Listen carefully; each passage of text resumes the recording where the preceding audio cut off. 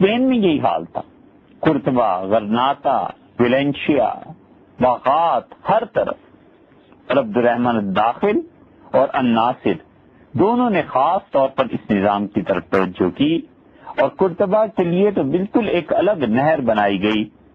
उससे वो शहर आबाद हुआ और वहाँ से उसके कुर्ब जवार में बागात आबाद हुए। आज तक वो नहर जारी है और वादिल कबीर आज तक है। हमने देखी है पत्थर का बहुत बड़ा पुल उस जमान का बना हुआ है। सत्रह महराबे हैं उसमें।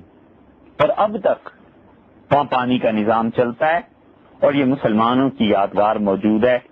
ये वही वादी कबीर है, जिसके मुतालिक इकबाल ने जिसके किनारे बैठ के कहा कि वादी को सार में गर्क शफक है सहाब, लाले बदख्शां के ढेर छोड़ गया आफ्ताब। सादाओ पुरसोज है, दुख्तरे दहका का खेत कश्ती दिल के लिए फैल है, ऐसे शबाब। आब रवान कबीर, ये उस वादिल कबीर की नहर है, ये उसका दर्जा है। अब तक जारी है। आब रवान कबीर, तेरे किनारे कोई देख रहा है किसी और जमाने का ख्वाब। आलिम नौ है अभी पर्दा तकदीर में, मेरी निगाहों में है उसकी सहर बेहिजाब पर्दा उठा दूँ अगर चेहराए अफकार से, ला न सकेगा फरंग मेरी नवाओं की ताब जिसमें ना हो इनकलाब, मौत है वो ज़िंदगी। रूहे उमम की हयात, कश्मकश इनकलाब। सूरत शमशीर है, दस्ते कजा में वो कौम। करती है जो हर जमा, अपने अमल का हिसाब। नक्श हैं सब ना तमाम खूने जिगर के बगैर। नगमा है सौदाए खाम, खूने जिगर के बगैर। ये वो वादी कबीर का दरिया और नहर है जहाँ पर इकबाल ने ये अशार कहे थे कि मुसलमानों ही का काम अफ्रीका में चले जाइए। एशिया और स्पेन और यूरोप से निकल के अफ्रीका में मुसलमान गए तो सहरा जो कहलाता है सहारा का इलाका अब भी आप उसको नक्शे में दे सक, देख सकते हैं। इसको क्रॉस करके टम्बकटू और चार लैक तक पहुँचने के लिए मुसलमानों ने तीन रास्ते निकाले और उनकी लंबाई दो हज़ार मील के करीब बनती है। और मुसलमानों ने, अरबों ने, यहाँ और बहुत से काम पानी के किए। उन्होंने हर जगह हमाम कायम किए। क्योंकि उनके नबी सल्लल्लाहु अलैहि वसल्लम ने उन्हें तालीम दी थी, तलकीन की थी कि अतहूर शत्र ईमान, पाक रहना, साफ़ रहना, ये ईमान का बहुत बड़ा हिस्सा है।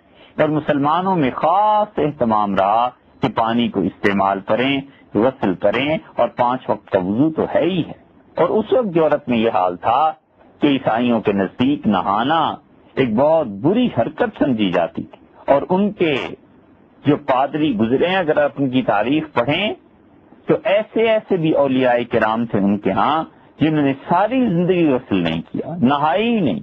अल्लाह ताला के साथ ताल्लुक उसकी मार्फत हासिल करने के लिए नापाक रहना गंदा रहना ये ज़्यादा अच्छा था।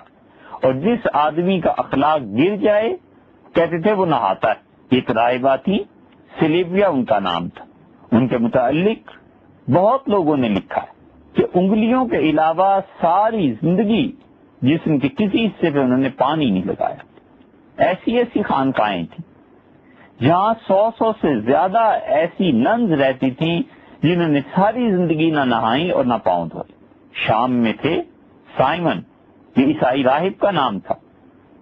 साठ फुट ऊँचा सतून उसने बनाया और उस सतून के ऊपर एक छोटा सा छत दिलवाया और तीस साल तक सर्दी और गर्मी में वो वहाँ पड़ा था।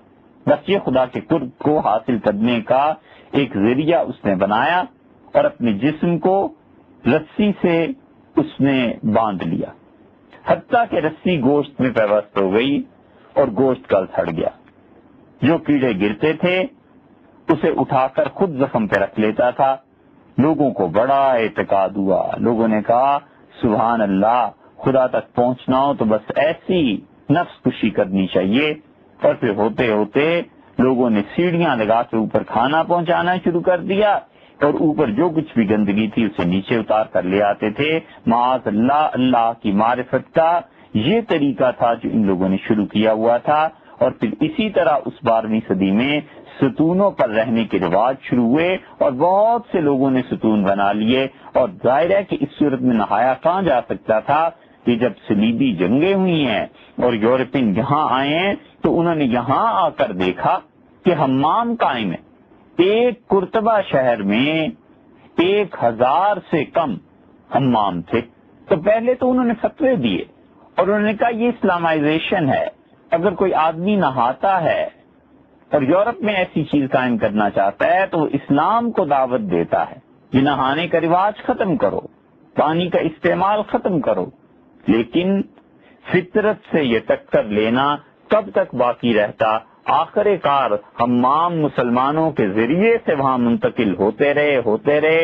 यहाँ तक कि एक मौका ऐसा आया जो अब आप देख रहे हैं, इसकी बिना पड़ी और लोगों ने ईसाइयत के इस मार्फत के मार्फत के तरीके को, जो कि वैसे ही गैर फितरी था, रद्द कर दिया।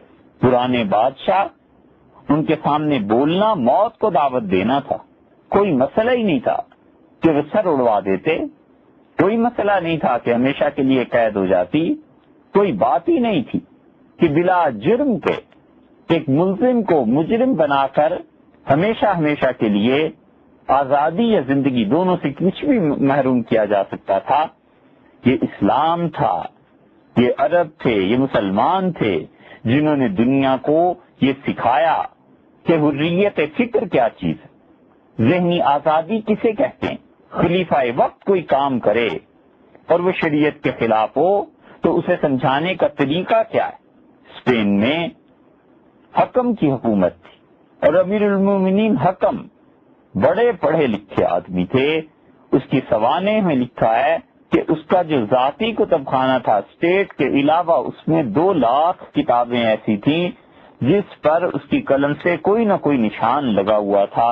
उस पर दस्तखत करता था, कोई इबारत उसे पसंद आती थी तो उस पर निशान लगा देता था, किसी पर तनकीद लिखनी होती थी तो उसके हाशिए पर तनकीद लिखता था। ये अमीर मोमिनी होने के साथ साथ ये हकम दो लाख के करीब किताबें इसकी नज़र से गुजरी थी। अब कौन मुसलमान है जो इतना पढ़ता हो? खास तौर पर हुक्मरान, उन्हें पढ़ने पढ़ाने से क्या दिलचस्पी? इसकी तकरीर में सुन ली कोई बात, उसकी तकरीर में सुन ली, वही नकल करते रहे। इसने अपने बेटे अब्दुलरहमान को हुकूमत दी थी।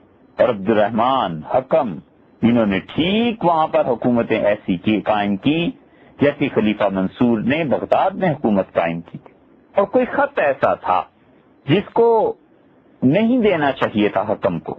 और उसके एक नौकर ने ला के दिया और हकम को उससे शदीद गुस्सा आया और उसे हुक्म दिया कि जो हाथ ये खत लेके आया है, इस हाथ को ही काट दिया जाए। जियाद बिन अब्दुलरहमान रहमत उस मौके पे बैठे हुए थे। और वो लोग अपने साथ दानश्वरों को, फुकाहा को, अल्लाह के मुखलिस बंदों को रखते थे, हुकूमत के काम फिर चला करते थे। इसीलिए लोगों में अमन था और अमन के नतीजे में लोगों के पास इंसाफ था। जो लोग समझते हैं कि इंसाफ पहले कायम हो और अमन बाद में हो तो वो उल्टी बात करते हैं, अमन के नतीजे में इंसाफ आया करता है, इंसाफ के नतीजों में अमन नहीं आते। तो उसने हुक्म दिया कि इस हाथ को ज़ाहिर करा दिया जाए। तो जियाद रहमत बोले उन्होंने कहा, अल्लाह ताला अमीर मोमिनीन को अच्छे कामों की तोफीक दे।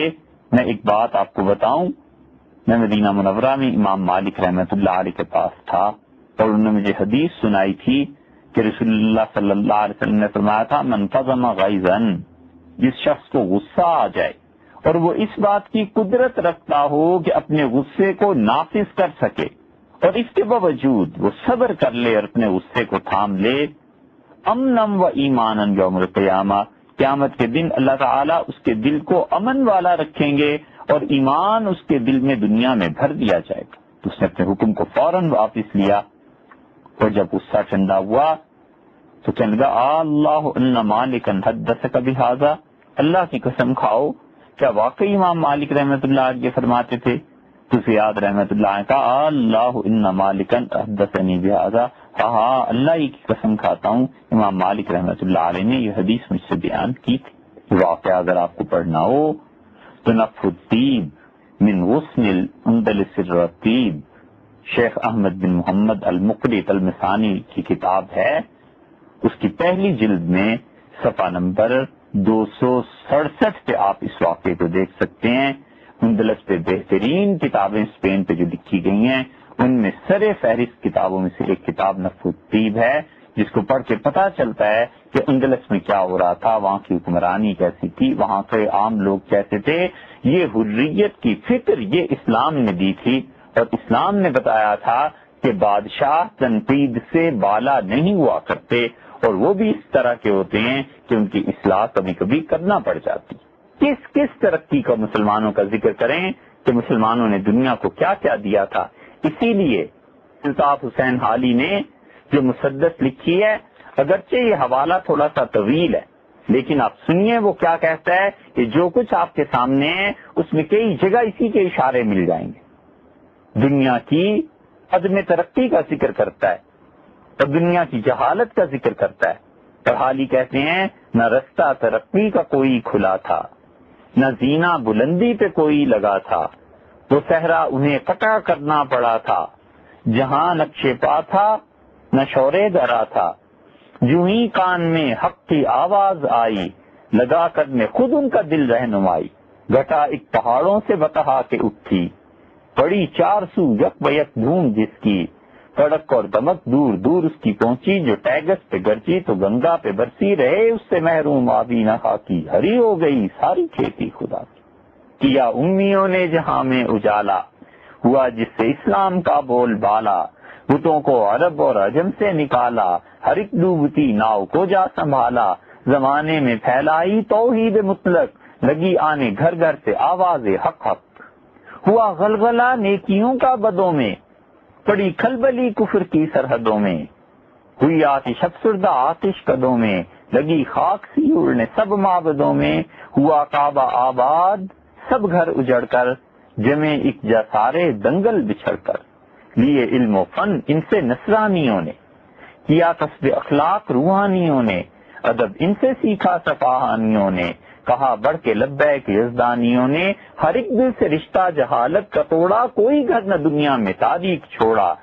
रस्तू के मुर्दा फनू को जलाया, फलातू को ज़िंदा फिर दिखाया, हर एक शहर करिए को यूना बनाया मज़ा हिकमत का सबको चखाया। किया बरतरफ पर्दा चश्मे जहाँ से, जगाया जमाने को ख्वाबे गिरा से।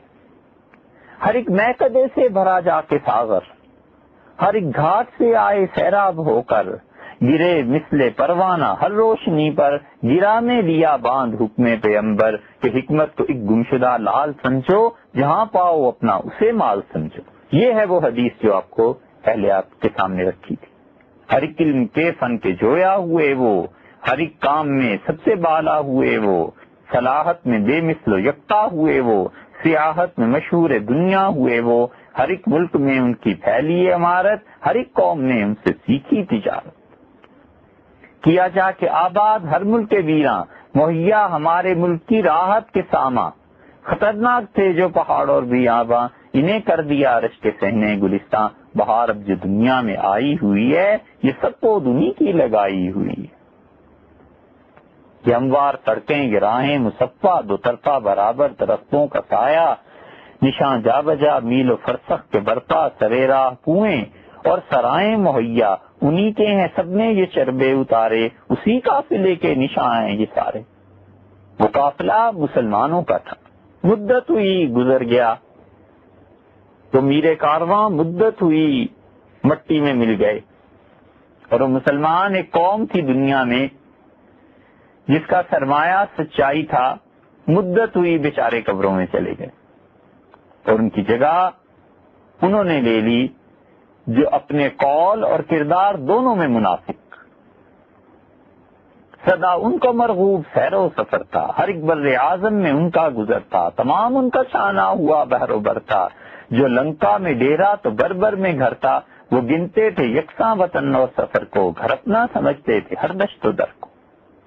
जो हम कहते हैं कि इस सारी साइंस की बुनियाद और दुनिया में इस सारी राहत का ये मुसलमानों के सदके में। हाल भी यही कहते हैं, आगे देखिए। जहाँ को है याद, उनकी रफ्तार अब तक। के नक्शे कदम है, नमूदार अब तक। मलाया में है, उनके आसार अब तक। उन्हें रो रहा है, मली बार अब तक। हमाला को हैं, वाकयात उनके अजबर कि के बाकी हैं।